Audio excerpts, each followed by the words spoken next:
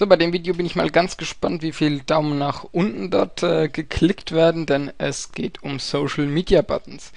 Und wir sind hier schon mal auf der Seite spiegel.de und da sehen wir schon vier verschiedene Social Media Buttons.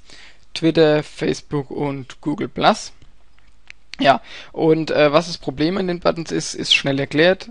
Einmal stören sie mich beim Lesen von so einem Artikel und äh, zweitens besteht auch noch ein Datenschutzproblem, denn sobald ich jetzt auf diese Seite gehe, kommuniziert quasi dieser Button mit Facebook, Google oder Twitter und äh, überträgt die Information, dass ich die Seite angeschaut habe, an Facebook, also welche Seite angeschaut wird und wer diese Seite angeschaut wird übertragen. Und das geschieht halt mittels IP-Adresse und mittels Link von diesem Artikel.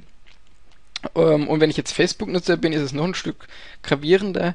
Da schaut dieser Button, ob das Cookie gesetzt ist von Facebook und wenn ja, wird da quasi ähm, das, diese Information ins Cookie geschrieben. Und Facebook kann dann also sogar meinen Account damit verknüpfen, auf welcher Seite ich war. Und jetzt das mal uns genau anzuschauen. Ich drücke jetzt einfach mal Steuerung U, komme dann in den Quelltext von der Seite suche mir jetzt die Stelle raus, wo hier dieser Button ist. Das ist die hier. Also da sieht man Plugin Like, bla bla bla und dann hier der Link von dem Artikel hinten dran. Ich kann da draufklicken, ist nämlich eine PHP-Datei und da sehe ich schon, da wird Code ausgeführt. Hier unten ist wahrscheinlich das äh, Wichtigste. Also hier ist ja schon mal markiert, dass es ein Skript ist, also nicht nur einfach ein normaler Link. Und hier ist halt genau das, was passiert. So genau kann ich es jetzt nicht interpretieren, aber ich habe mir sagen lassen, dass eben genau das passiert, dass halt äh, geschaut wird, ob der, ob's Cookie gesetzt ist und dass, dass die IP übertragen wird mit dem Link, das ist sowieso unzweifelhaft. Das ist schon allein, dass dieses Ding überhaupt da ist, äh, bedingt das schon, dass das übertragen werden muss. Okay, schließen wir mal wieder den Quelltext und überlegen uns, was wir dagegen machen können. Naja, die die jetzt zum Beispiel auszublenden mit Adblock ist nicht so hilfreich, weil dann sieht man die zwar nicht, aber diese Informationen werden dennoch übertragen. Da gibt es eine ganz gute Lösung dafür und zwar das Plugin Ghostery für Firefox. Ich mache hier schon mal die Seite auf, springe aber nochmal zurück zu Spiegel und zeige euch jetzt noch was und zwar lösche ich meine komplette Chronik. Also die ganzen äh, Cookies habe ich jetzt mal im Sinn gehabt und habe hier kein einziges Cookie mehr gespeichert und wenn ich jetzt nur diese eine Seite neu lade mit F5, werde ich eine böse Überraschung dann äh, erleben. Überleben hoffentlich auch.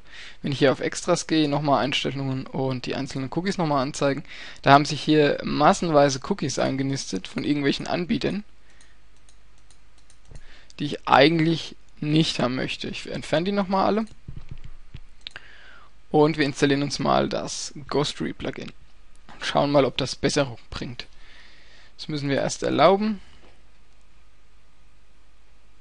Link findet ihr in der Beschreibung natürlich für das Plugin. Hier jetzt nochmal installieren. Und neu starten. So, beim ersten Startern öffnet sich ein Assistent von Ghostery, den gehen wir einfach mal durch. Die beiden Sachen kann man getrost aktivieren. Und hier wird es spannend. Also was will ich geblockt haben? Ich wähle hier immer alles aus, weil das sind eigentlich alles Sachen, die brauchen wir beim normalen Surfen nicht. Die kann man alle schön ausblenden. Gut, und dann geht es hier weiter. Dann sind wir eigentlich schon fertig und können Ghost Review nutzen.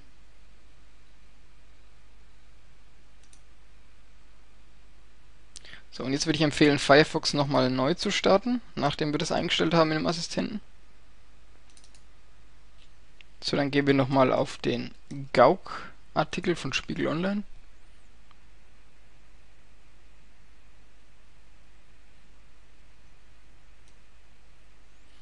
Und wir sehen schon, die ganzen ähm, ja, Social Buttons sind nicht mehr zu sehen. Das ist schon mal schön. Hier oben rechts sehen wir auch äh, die Anzeige, was geblockt wurde. Und jetzt löschen wir nochmal alle Cookies. Und laden die Seite nochmal neu.